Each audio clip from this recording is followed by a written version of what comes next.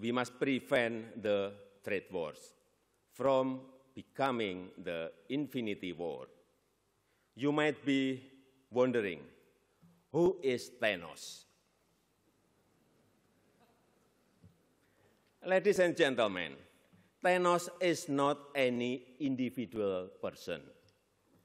Sorry to disappoint you.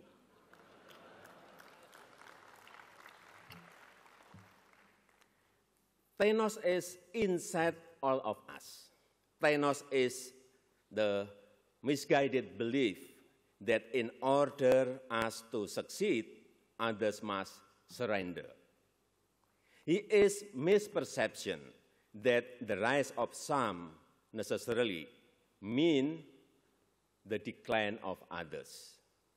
Therefore, the infinity wars is not only about our trade wars, but about each and every one of us relearning the lesson of history that with creativity, with energy, and with collaboration, and with partnership, we, humanity, shall enjoy abundance, and we shall produce not infinity war, but infinite resources.